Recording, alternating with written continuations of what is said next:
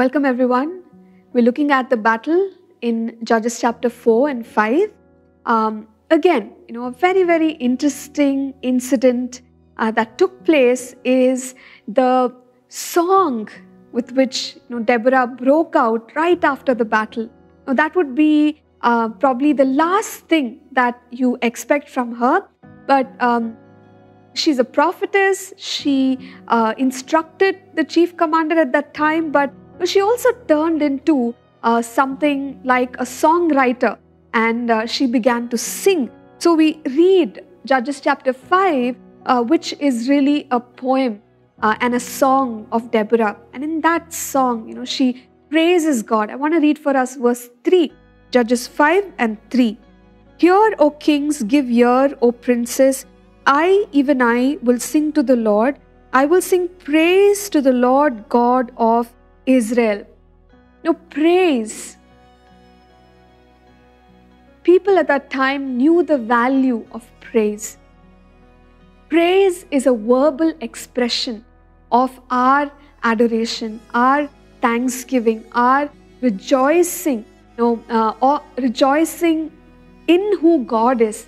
And praise is usually exuberant. Uh, in other words, you know, we uh, are we are able to express not just with our body, with the words that we are speaking, but there is a sense um, of joy in our soul and our spirit rejoices. So, praise engages, praise involves our spirit, soul, and body, and it's really a wonderful expression of our faith in God.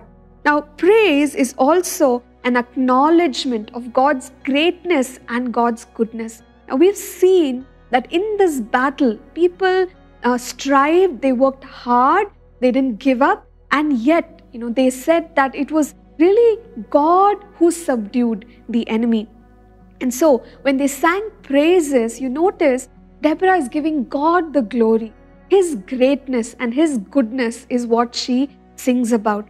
So, we too can praise God, we can honor God. And now, here's the thing um, praise must be proportional to the greatness of God. Now, think about this. You know how great God is, and um, if uh, we begin to praise Him, uh, maybe with a couple of songs and you know some music or something else that that we do for God, uh, we can never really match up to His greatness. And that's why we have all these hymns um, that have been written where people say that if you use up all the ink, uh, the, the waters in the ocean as ink, you would still not be able to describe the greatness of God. If we had a thousand tongues, we would still not be able to give God the praise, the honor, and the glory that He deserves. And so, there's really so much scope for us to keep praising God because He is that great. And we are encouraged. We are encouraged. This is a spiritual act of worship.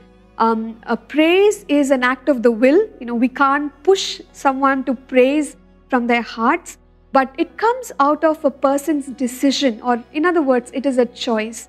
Praise is a choice, uh, and it is a fruit of our lips. It is a spiritual sacrifice for us who are on the other side of the cross. And so, you know, what a privilege we have to praise God things that God has done. In this case, yes, they won a battle and they were praising God for that.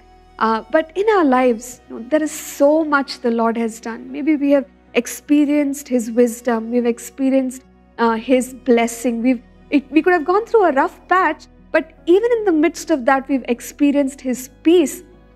Shalom, shalom, His perfect peace, um, uh, the joy of the Lord. So many things that uh, are really released to us because God is our God. So, can we take a moment, um, friends, and uh, just exalt and magnify the Lord because He's worthy of it? Let's let's um, pray together. Heavenly Father, we pray that Lord, you will make us people who praise, because people who praise are people of victory. God, uh, let your praise always be on our lips. Uh, in Jesus' name we pray. Amen. Thank you for tuning in to Living Supernaturally. For more resources to strengthen your spiritual walk, please visit apcwo.org.